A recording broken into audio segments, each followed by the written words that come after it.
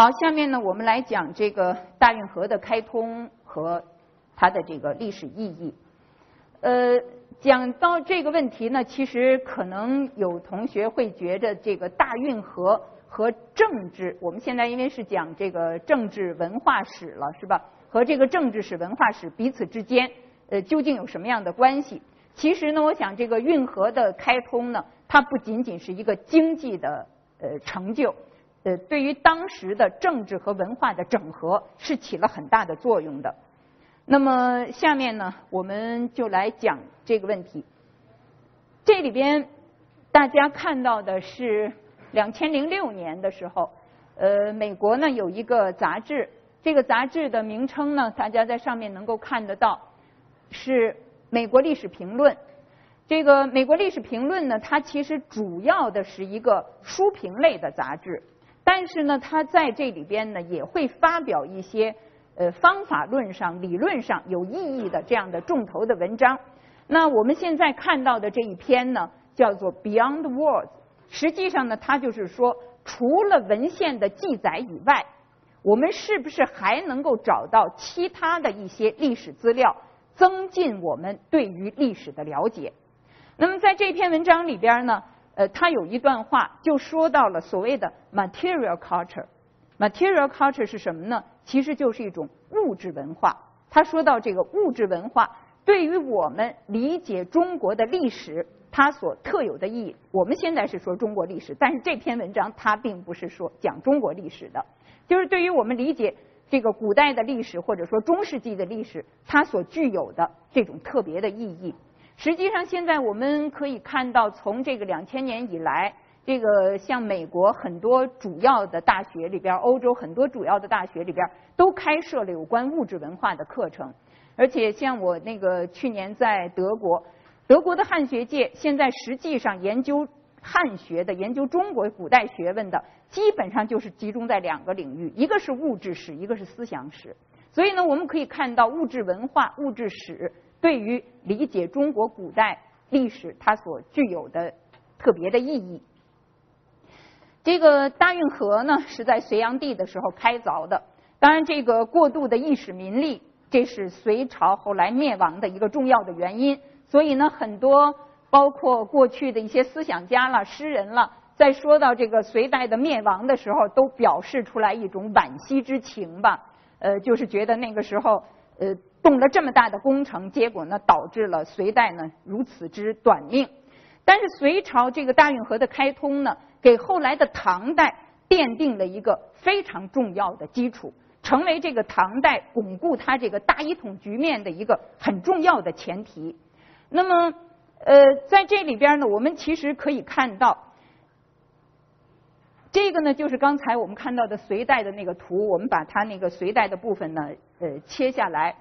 那这个大运河呢，它其实是以洛阳为中心，以洛阳周围的一个地方叫做版主的，以这个地方为中心修起来的大运河。而那个时候的运河呢，其实是呈一种辐射状的，是呈辐射状的。洛阳这个地方呢，也是隋炀帝的时候他在位的时候所特别经营的地区。为什么他会这么经营洛阳呢？其实我们可以看到，在中国古代。凡是当这个国都定在关中的时候，定在关中就是现在我们说，比方说咸阳啊、西安呐这一带，陕西定在关中的时候，它一定会在洛阳形成一个陪都或者说一个副都这样的一个局面。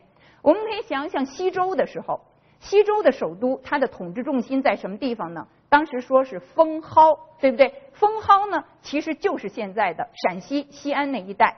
而东周呢，其实就是洛阳。当时这个西周的首都在封号的时候，那个时候的周公他就经营洛邑，对不对？就是经营洛阳。到了西汉的时候，西汉的首都是在长安，对吧？就是现在西安。而东汉的首都呢，就是在洛阳。我们说到这个隋代的时候，那么隋代的首都它是在大兴城，其实呢就是后来的长安这一带了。那么现在呢，洛阳。又成为他一个事实上的东都啊，东边的一个首都。这种情况到了唐代仍然是这样。我们知道武则天的时候是长期住在洛阳的，那以前的解释呢，都是说，因为他把人家王皇后萧淑妃都给害得那么惨，对不对？他在那个长安的那个宫里边，他就没法住，那个一到晚上呢，就是闹神闹鬼的。实际上呢，并不是这么简单，那并不是这么简单。当时呢，这个唐高宗和武则天长期住住在洛阳，后来就有人说，实际上呢，他们住在洛阳的目的是在那个地方救粮，救粮。就是说，关中那个地方粮食的供应不那么容易，关河悬远，对不对？隔着很多这个高山，呃呃巨川，是吧？运到关中去粮食不那么容易。相对的来说呢，洛阳它是在东边，一个是说我们那个整个的这个国土农业比较发达的地区，其实呢大量的是在东边。另外呢，就是那个时候我们说到这个后来的大运河。对于洛阳这一带的供应呢，其实也相对来说呢会比较方便，所以这个洛阳的位置呢，应该说在这个国家统一的这个布局上是非常重要的。所以这个上面的这两个红点儿呢，左边的这个是长安，右边的这个是洛阳。大体上呢，我们可以看到它的一个相对的位置。这个就是当年的这个运河，这个几段从什么地方到什么地方，我想大家中学的时候其实都学过了，我们在这儿呢就不去逐一的重复。但是我们要知道，这个大运河呢，它把中国的几大水系啊五个大的流域，从北边桑干水海河流域下来到黄河流域，再下来到淮水，再下来到长江，再下面呢到浙江。把这五个流域呢联系成为一体。那么中国古代其实一直是有凿这个运河的努力，因为我们中国大家知道这个河流啊，大部分都是东西向的，都是东西向的，所以呢要贯通南北向的水道就成为一个努力的目标。这个在先秦的时候就曾经有修这个运河，然后就曾经修运河。那么到了隋炀帝的时候，这个运河呢才真正的贯通了，然后才真正的贯通了。这个呢就是我们说的东都洛阳，这边呢是版主。这个运河呢，我们可以看到，一方面呢是向南延展的，对吧？向东南。另一方面呢，另一条是向东北方向延展的。那么这两条呢，有点像个人字状的，啊，是一个人字状的，有点像一个辐射的这样的一个大运河呢。其实我们可以看到，它的这个开通啊，在中国历史上的意义，其实对于这个国家的统一，对于当时的政治的安定，其实呢是有很重要的意义的。这个意义之一呢，在于中国古代我们知道，在这个汉唐。就是在汉代秦汉的时期，那个时候的这个大帝国，国家的政治重心是在北方，而那个时候呢，国家经济最发达的地带、农业最发达的地带也在北方，也在北方。就是现在我们在这儿看到的这个红色的圆圈里边呢，表示的是政治的重心，而这个蓝色的圆圈呢，表示这是秦汉的时候那个时候的一个经济的发达的地带。但是到了唐代中期以后，我们其实可以看到，那个时候呢，中国的古代的经济重心就开始越来越转移到南方去了。也就是说，国家的最发达的地带，经济上最发达的，特别是农业最发达的地带，手工业最发达的地带，就到了南方，到了南方。而这种格局呢，一直到现在没有再重新扭转回来。所以这样呢，国家的政治重心还是在北边儿。可是经济的最发达的地区呢，已经是南方了。因此，在这种情况之下，沟通这个经济发达地区对于国家的政治中心的支持，就是一个很大的问题，就是一个很大的问题。所以呢，全汉生先生会写了一篇文章，呃，其实是一篇很长的文章，后来就变成一个单行本，叫做《这个唐宋帝国与运河》。这个书里边呢，实际上就说到这样的问题，就是运河的。重要意义在当时呢，关系到唐和北宋政府它的这个生死存亡的问题。所以这个唐代的时候，听说这个运河的粮食运来了，当时那个唐太唐德宗跑到他太子的东宫里边，跟太子呢抱在一起，这个非常的庆幸，就是觉得这个我父子的命现在能有了，啊能有了。所以这个关系到当时的这个国家政权的兴衰的。这个张方平呢是个北宋的人，那么他也曾经说，北宋的时候，汴河，汴河就是通济区这一段了，是国家的建国之本。实际上呢，就是国家源源不断的这样的一些物资，都是从这个地区呢，呃，运送过来的。这个运河呢，在政治上，呃，它起到一个沟通南北的作用。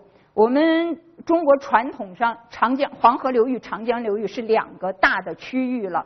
那么以前呢，也有这样的说法，就是说中国古代的战争，东西之间打的不是没有。你像秦打六国，对吧？那就是东西之间打的。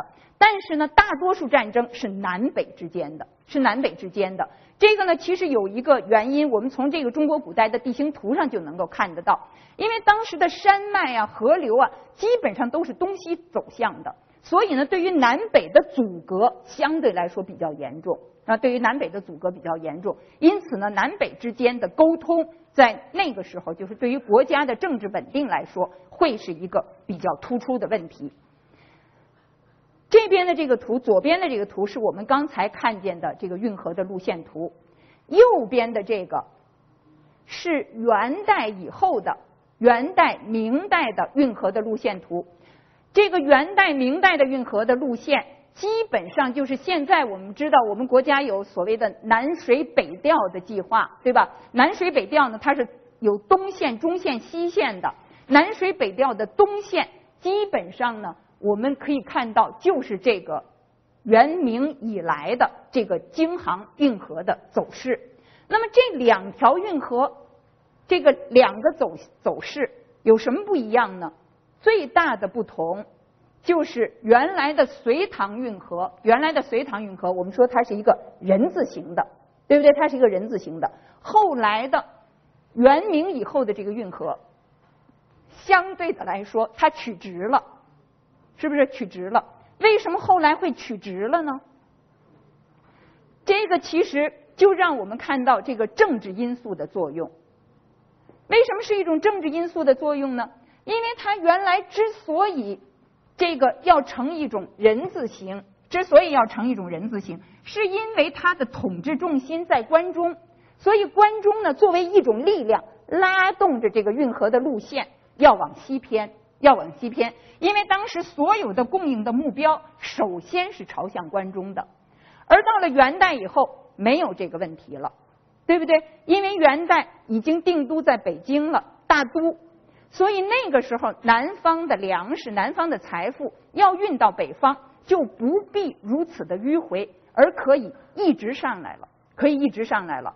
那么这样的一种情况呢？造成了这个运河的走势，啊运河的这个路线，呃，我们看到有了明显的不同。所以这个运河的问题呢，它一直是跟国家的政治联系在一起的。这里是一个中国古代的都城的移动的示意图。我们知道早年夏商周的时候，那个时候的国都在什么地方呢？基本上是在山西、河南、黄河流域，那山西、河南这一带。这个左右移动，或者说东西东西向的移动，那么一直到我们现在说的隋唐时期，其实还是这样的一种态势，基本上是在黄河流域的范围里边东西移动。而到了宋的时候，宋的首都呢就迁到了东边，迁到了东边，迁到了开封。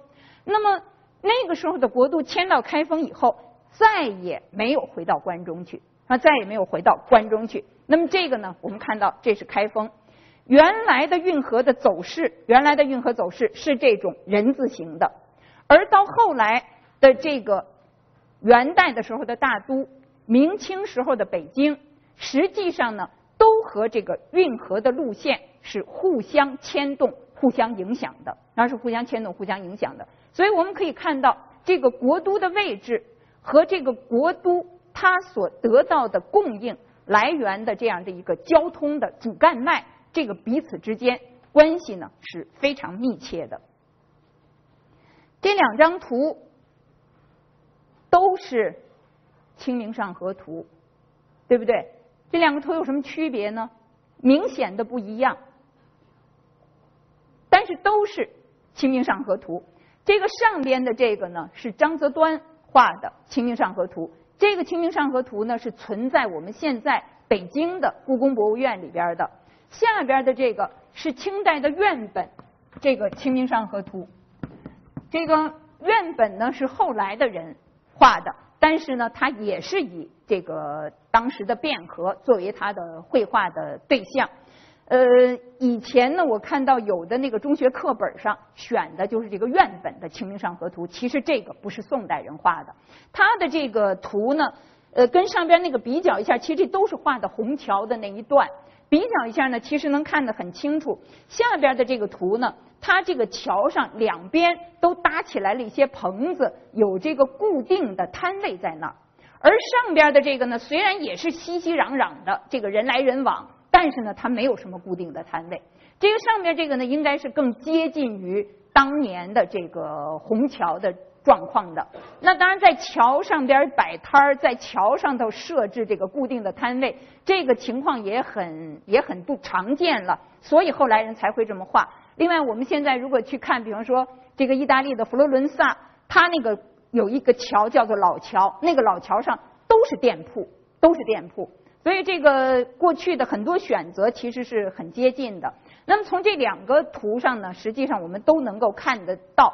当时的这个运河的沿线，呃，是经济非常发达的地区，啊，是很繁荣的这样的一些这个呃地带。而且呢，中国古代的最早的一批商业都市，其实往往都是发展在运河的周围，或者是运河和这个自然水道的周围。你比方说，像我们知道的扬州了。像开封了，像杭州了，这样的一些早期发展起来的商业都市，其实呢都是在这样的一个地带上。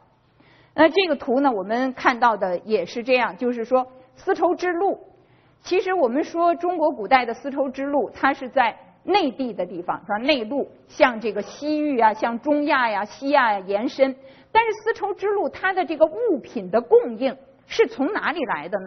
实际上物品的供应。它来自于东部的这样的一个广大的地区，它是靠东部的天然水道和东部的这个运河，把这样的一些东西呢运到洛阳，运到长安，才踏上了丝绸之路，然后才踏上丝绸之路。所以呢，把中国的内地和一些对外的贸易联系起来的这个大运河呢，也是起到了非常突出的作用。这本书呢是《金瓶梅》，《金瓶梅》我们都知道，它故事里边他说他是讲宋代的，对不对？又是西门庆啊，又是什么潘金莲呢？呃，什么这些？那《金瓶梅》这个书呢，它写的是什么地方呢？是山东的临清，对吧？他写的是山东的临清。实际上呢，临清为什么在那个时候？会那么繁盛呢？很重要的一个原因，就是因为它在运河边上。所以那个小说里边也说到很多这个商人，对吧？码头又怎么样？那么实际上我们知道，他虽然说是写的宋代的事情，其实呢不是宋代的事情，因为宋代的时候运河根本不过临清。什么时候运河才过临清呢？是那个运河的路线曲直了以后，走山东了。那么那个时候，运河呢才过临清，才过临清。所以呢，他尽管他说他讲的是宋代的事情，实际上他描写的只会是元代以后的临清啊。实际上，我们大家也知道，它其实是这个明代中叶的这样的呃一种这个情况了。所以我们可以看到，运河呢，它对于当地的这种精神风貌，对于这种文化的面貌，其实呢，都起到了很大的作用。这个今天呢，运河还仍然是一个重要的交通的通道了。还我们现在会说到环运河经济带，而且运河呢也在申请这个联合国的物质文化遗产。呃，这个运河的很多地段呢，一直到现在也还是有水上运输的，是吧？包括我们说南水北调，实际上呢还是要走运河的这个路线。呃，那么这个图看得出来是什么吗？看得出来那图上是什么吗？船。这个这个我们其实看惯了那个三环路上塞车，这个呢是运河塞船。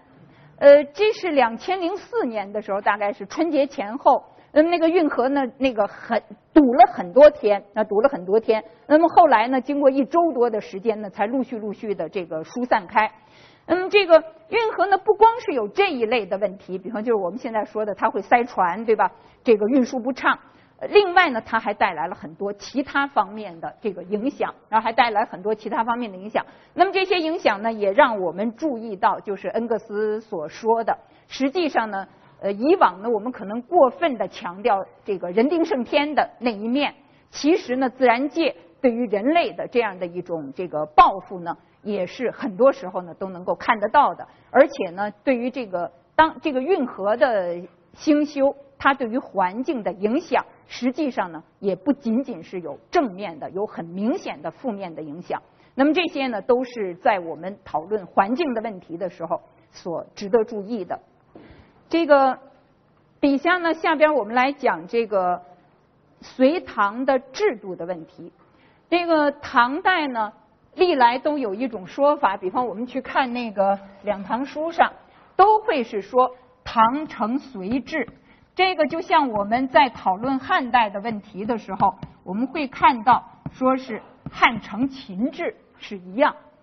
说到这个唐承隋制，那么这个制度呢，其实在各个朝代之间都是会有一些传承，也会有一些创新。所以呢，我们其讲这个历史上的问题，一方面呢，我们就是要看到延续；另一方面呢，我们也是要看到变更，是吧？呃，那这个。从隋到唐，制度的延续和变更涉及到很多很多方面。我们现在呢，就以法律制度作为一个例子，我们呢来看一看这个唐代的法典体系。从隋代到唐代的前期呢，应该说它不是一个制度大规模的变化的时期，就是不是说要重新设计一个蓝图。把以前的都通通推倒了，重新再来，其实不是这样，而是一个整合的时期。我们可以看到，这个时期呢，是使一些行政的秩序啊越来越合理化，甚至于越来越简化，越来越有效益这样的一个时期。那么我们可以看到，这个时期呢，其实是我们经常会说到的，是南北朝的一个历史的出口，就是南北朝的时候的一些制度的创造啊，一些制度的这个呃初心。到了这个时候呢，有了一个整合啊，把它整合到一个新的体制之中。唐代的法典体系呢，其实是从隋代的法典体系的基础上发展而来的。隋代呢，隋文帝他有一个年号叫做开皇，所以那个时候呢，有一套法典体系呢，叫做开皇律。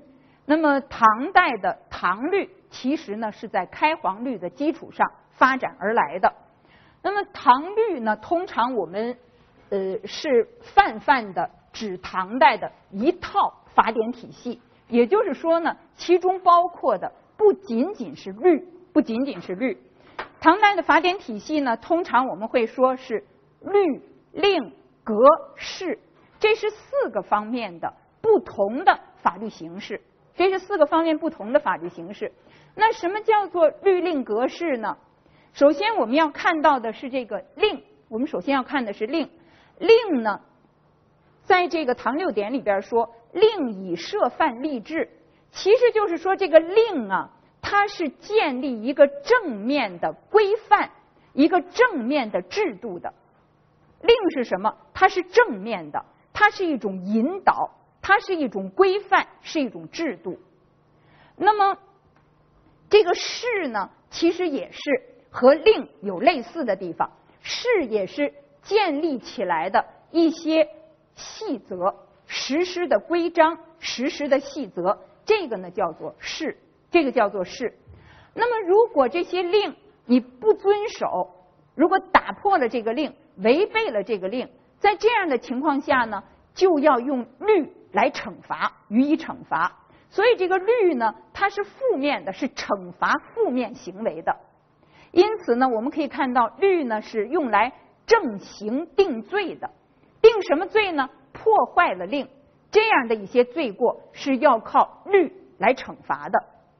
那这里边格是什么呢？其实我们知道，这个令啊，它定了以后，不可能非常经常的改，不可能改的很频繁。那么国家发布了一套政令以后，如果这个政令发布了，在运行的过程中出现了一些问题，或者呢有的地方不适合需要了，需要局部的调整，那在这样的情况下，怎么调整呢？国家就会发布一些诏敕。那么这些诏敕呢，我们有时候也会把它称之为诏令，就是以皇帝的名义发布一些文告。那么这些文告呢，就叫做诏敕。过一段时间以后，把这些诏敕整理一次，这个整理出来的这个文本就是格，就是格。所以这个格是什么呢？这个格其实它是一些标准，它是一些标准，它也是一些执行的方式。这个标准是为什么定出来的呢？是为了禁止那些违背法令的行为。禁止那些违背规定的行为，为这个而定出来的，所以呢叫做格以禁为正邪。所以我们可以看到律令格式呢，他们共同组成了一套法典体系，他们是一套这个互补的这种法典体系。那么以前呢，一直都有一个说法，就是说中国的古代的法典只有刑法典，没有民法典。过去呢，有很多这个我们看这个以前的这样的一些呃书籍啊，以前的一些介绍上啊，经常会有这样的说法。实际上呢，这个张晋藩先生，张晋藩他是原来中国政法大学的校长，早就退了。呃，他就是做这个中国法制史的。那在他的这个中国古代法律制度里边呢，他有一个解释。他说，其实中国古代啊，这个法律体系。是各个方面的法都有的，刑法、民法、诉讼法这样的一些法呢，其实都有。所以呢，就它的构成来说，是一个多种法规构成的这样的一套整体的法典体系。但是呢，因为中国古代编写这个法典的时候，并不分开，不是说这一套是民法典，下一个是刑法典，而是在编这个法典体系的时候呢，都列在一起。所以呢，以往会有人觉得这个是不分的，是民刑不分，没有民法典。实际上呢是有的，但是当时修纂的时候，编这个法典的时候，把这些东西呢都汇总在一起了，所以呢造成了一种民法和刑法不分这样的一种印象。那么这个底下呢，我们分别来看一下唐代的时候这个律令格式。他们具体的都有一些什么样的针对性？这律刚才我们说了是来惩罚犯罪行为的，那是用来惩罚犯罪行为的。现在呢，我们留下来的还有一部唐律，还留下来一部唐律。这个唐律里边呢，我们可以看到它是分了不同的类的。啊，这个唐律里边呢分了各类。那这个《唐律疏议》这一本书是我们现在能够看到的中国古代留下来的。最早的法典，最早的一部律。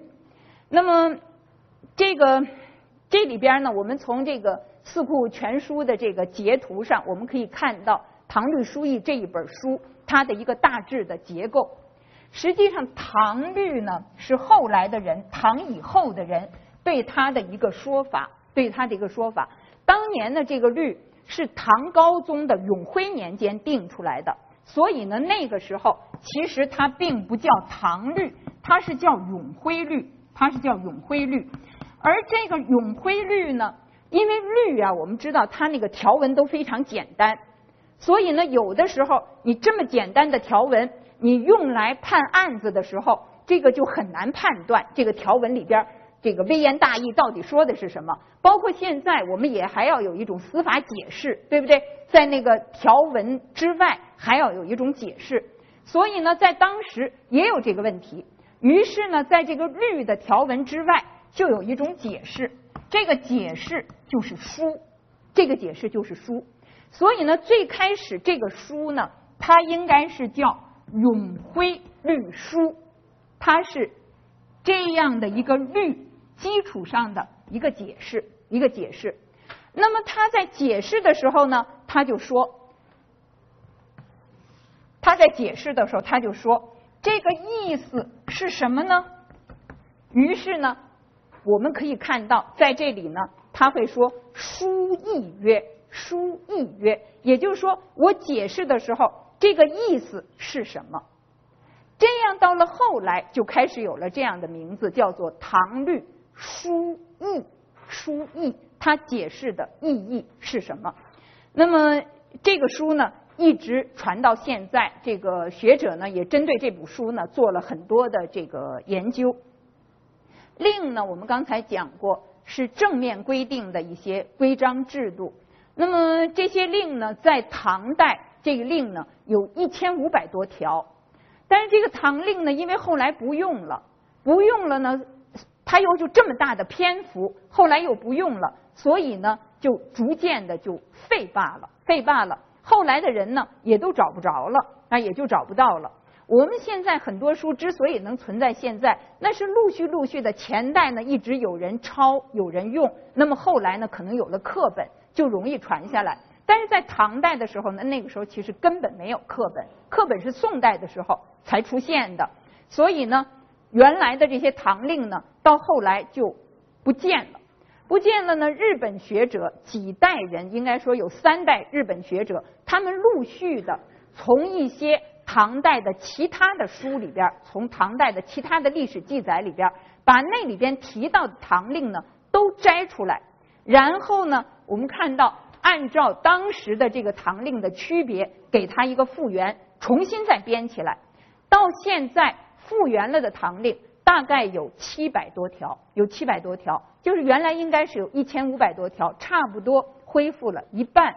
那么最近这些年呢，上海师大有一个做法制史的戴建国老师，他在这个天一阁，我们知道宁波有一个藏书的地方叫做天一阁。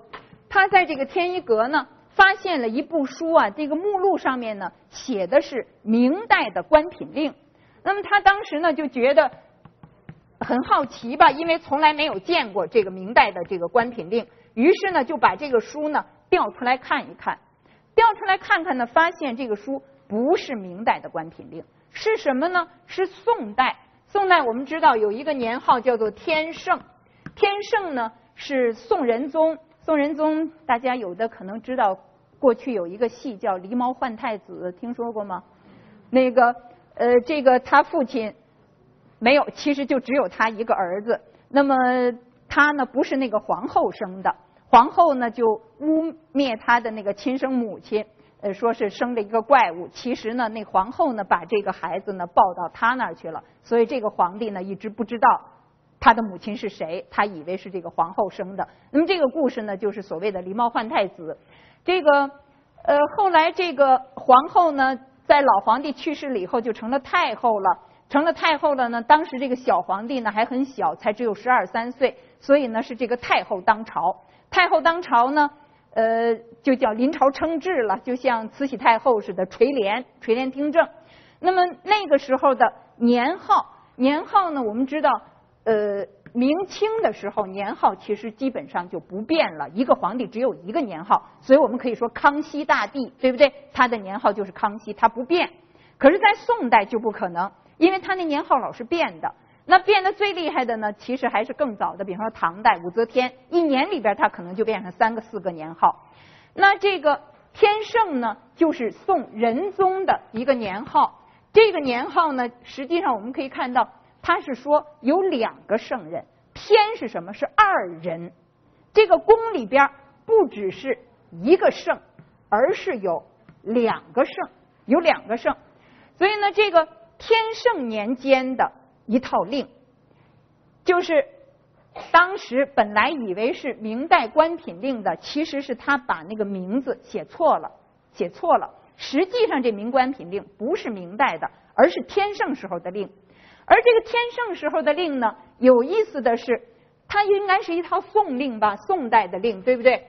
但是呢，宋代的人修令的时候，他会把前代的令都附在那上边，就是我本朝的令是这个，前代的令是这样做的，所以他把那个令都附在那儿，因此呢，有大量的唐令，有大量的唐令，所以这个天圣令呢，现在。引起了国际学术界非常强烈的注意，那非常强的注意。那我们看到这个天圣令呢，它也呃集中起来，那么出了这个呃教刊的本，而且呢，现在台湾学者、日本学者、大陆的学者都在集体读这个天圣令，特别是读里边的唐令，读里边的唐令。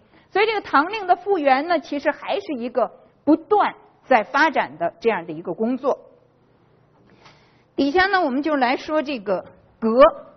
格呢，刚才其实我们已经讲到过，它是一套标准啊，它是一套标准，它是为了纠正那些做的不对的地方啊，这个呃而出台的一些新的规定。这个格呢，就它的这个颁行方式来说，有两类情况，因为它是一些规定，对吧？它是一些这个标准。我们说到这个格式标准，一直到现在，其实我们还是这样用，对不对？我们比方说合格，合格是什么意思？就是要合于一种标准，对不对？你合格不合格，那就是合不合这个标准。另外，比方我们刚才说到律令格式，格式是什么意思？我们现在也用这个词，对不对？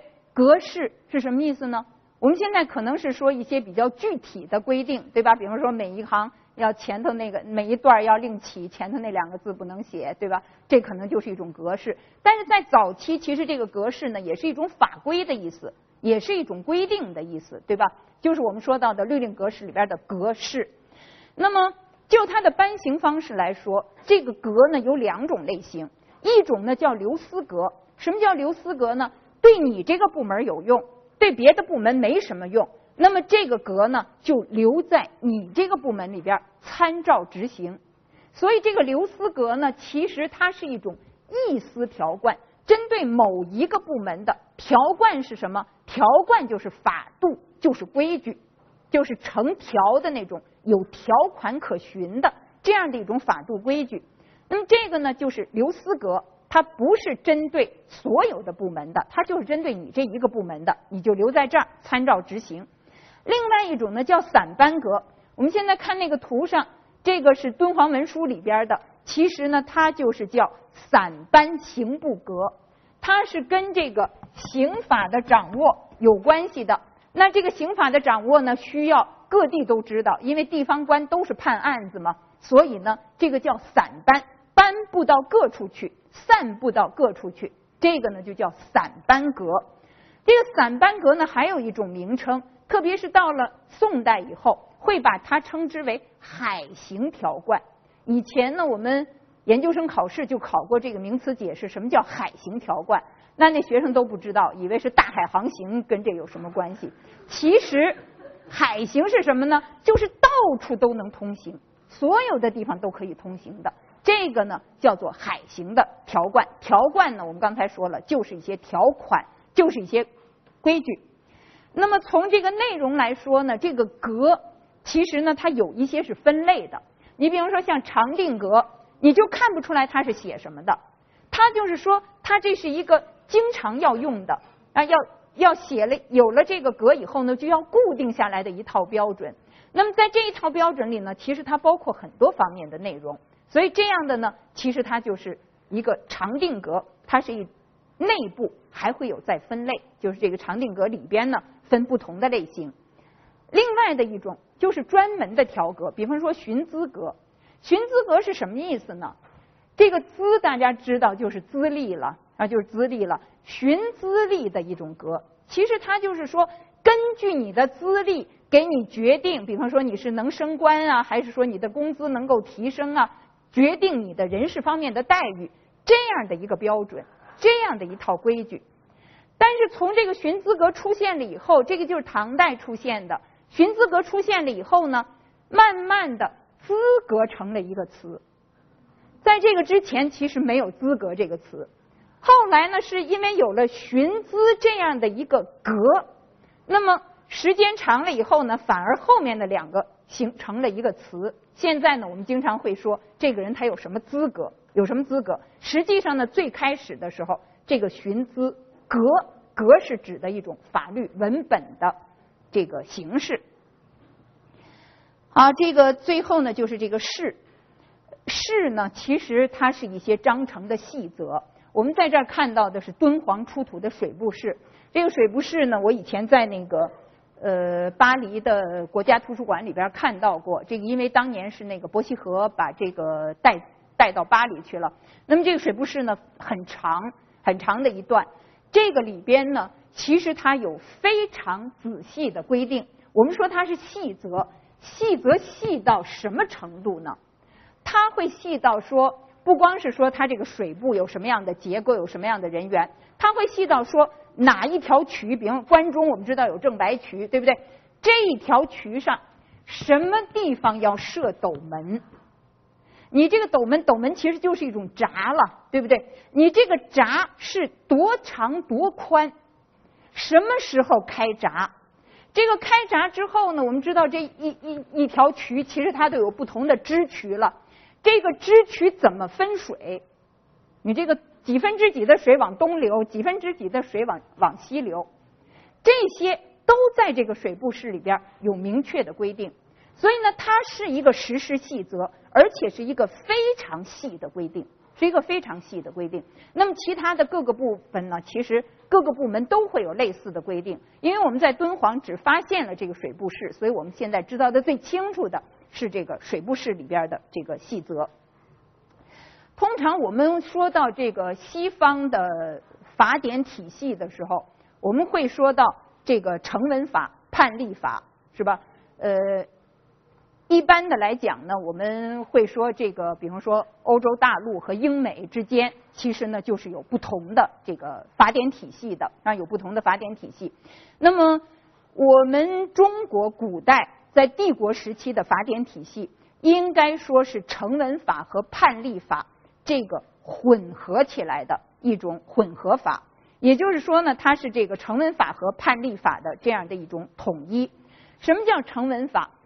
就是有条款可循的，有条款可循的，那个条款的规定都非常明细、非常清楚的。像我们刚才说到，隋唐的法典体系是一种律令格式的法典体系。这个实际上呢，就是一种成文法，就是一种成文法。但是为什么我们说它还和判例法有所混合呢？这个是因为中国古代的时候，实际上呢，我们可以知道那些法典体系，其实呢，它都是要不断的严密化。就最开始的时候，有很多法典都是比较疏漏的，是吧？有一些。呃，事情呢来不及反映进去，或者说那个新出现了一些新事物，那么过去呢没有这个机会对这些新事物呢做出一个反应，因此在这样的情况底下，啊，在这种情况底下，就是我们在这儿看到的，如果这个律文里边没有这个条款，就是过去的这个刑律啊，过去的这个法典里边没有这个条款，那么怎么办呢？就要求故事之笔。什么叫故事呢？我们平常会说故事，这个地方呢，我们要说故事。故事是什么呢？故事其实就是以前发生过的事，但是它又不是以前发生的所有的事情，是以前发生过，而现在呢，能够用来作为我们效法的楷模的这样的一些事。那么。这些效法的楷模呢，其实就是说，我们把它作为一种仿效的、能够仿效的规则，能够仿效的这样的一些规范，这个就叫做故事，这就叫做故事。所以呢，我们可以看到，在中国古代的时候，经常有这种情况：朝廷上为了什么事情争起来了，争起来了，最后怎么样能够平息这个争论呢？是某某人他说，过去有一件事儿，那个时候在某一个，比方说高皇帝那个时候。那件事情是怎么做的？提出来一个故事，可供仿效。那么这样呢，这个争论才算是尘埃落定。那么包括判案的时候，也会有这种情形啊，也会有这种情形，就是援引一些故事。那么这种故事，其实我们可以看到，基本上它就是那种海洋法系里边，或者说英美法系里边的那种判例啊，就是这种判例。这个唐代法典的原则呢是。礼法并用，礼和法本来呢，这个礼和法从先秦以来好像是两端。这个礼，儒家呢是讲礼的，而法家呢是讲法的，似乎呢这两个方面呢是不相容的。但是实际上呢，唐代是一个礼法并用的时期，而且体现在它的法典体系里也是礼法并用的。明确一点说呢，我们可以说这一套法典体系从它的价值层面来说，它是贯彻着礼的原则。礼的原则是什么？实际上就是一种秩序的原则，就是一种秩序的原则。而这个秩序是什么秩序呢？是当时人认为最理想的秩序，当时的人认为最理想的秩序。那么这种原则就是礼的原则。而在他的这个真正要判案子了，真正要断刑了，说真的要判案了，这个操作的层面上，其实是要根据法条的，是要根据法条的。所以就是说，这个礼法并用，礼和法它发生作用的这样的一个层面。不完全一样啊，不完全一样。那在这个费孝通先生的这个插叙格局里边呢，其实就说到这个秩序的问题，特别是说到这个人伦秩序的问题，特别说到这个人伦秩序的问题。那么他说的这个插叙格局，这个插序其实呢就是建立在一种差次基础上的这样的一种秩序。那他说这个儒家最考究的就是人伦。那么人伦是什么呢？他说就是从自己以自己为中心，从自己推出去的这样一层一层的。那么这一层一层的呢，其实就是一种由亲到疏吧，亲疏关系不同的这样的一波一波的差序啊，这样一波一波的差序。那么这个呢，就是他所说的差序格局，也就是我们在这里说的礼所反映的社会秩序。礼所反映的社会秩序，那么这种儒家所强调的社会秩序，其实呢就是一种尊和卑之间的差序，是一种亲和疏、上和下这个彼此之间的这样的一种这个差序。那么这种差序呢，确实是我们看到这个儒家呢长期以来非常注重这种差序。那像这个大家都熟悉的这个孔夫子，他曾经说过。君君臣臣父父子子，对吧？这个齐景公问他说：“怎么能把这国家治理好呢？”那他就说：“君君臣臣父父子子。”包括到了宋代的时候，二程兄弟，有人问他们说：“那个时候不是有道学吗？什么叫道啊？”那这个二程兄弟也跟他说：“你就是要到君臣父子上去找。”那么这个君臣父子，其实就是我们说的这个君君臣臣父父子子，这是什么意思呢？其实这就是一种秩序格局。你做君的要像个君的样子，做臣的要像个臣的样子，对吧？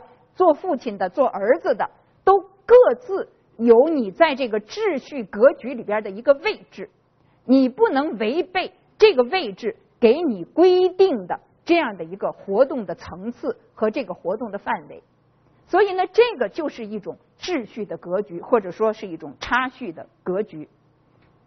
那么儒家的思想呢，它是以这个人伦秩序作为它的出发点的，作为它的核心的。所以它既然是强调有差序，就是尊卑是不一样的，亲疏是不一样的，贵贱是不一样的，上下是不一样的。它强调这个差序，强调这种区别。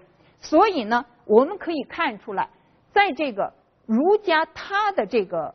整个的这个秩序体系是一种差别性的人伦规范，它的这个规范是建立在差别上面的，是建立在差别上的。但是法家不一样，法家呢原则上他们是主张法律面前人人平等。